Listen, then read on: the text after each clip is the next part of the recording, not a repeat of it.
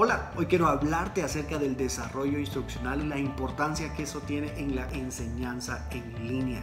El desarrollo instruccional es la toma de decisión sobre la selección de contenidos para la enseñanza, de los objetivos, de la metodología, del tipo de evaluación que se va a realizar, todo aplicado a las necesidades del estudiante. Tiene varias etapas el, el, um, el desarrollo instruccional y, cada una de ellas son importantes. Por ejemplo, el análisis, el diseño, el desarrollo, la implementación y evaluación son claves para que el diseño instruccional sea efectivo. Hay varios, hay, hay, hay varios diseños instruccionales, pero el más común es el ADDIE o ADDIE.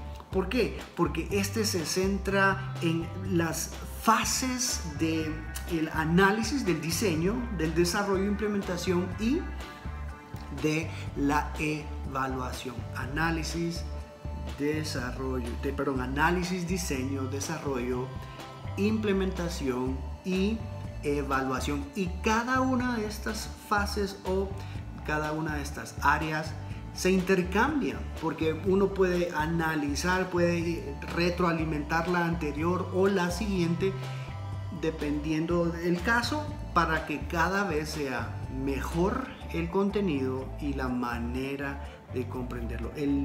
las fases eh, o el desarrollo instruccional es tan importante porque nos da como un mapa, nos da una línea a seguir, nos dice hacia dónde queremos ir respecto a la educación en línea que estamos proveyendo. Por eso creo yo que es importante que para toda educación en línea el desarrollo instruccional es valiosísimo, indispensable para lograr garantizar la educación o la información o el aprendizaje correcto.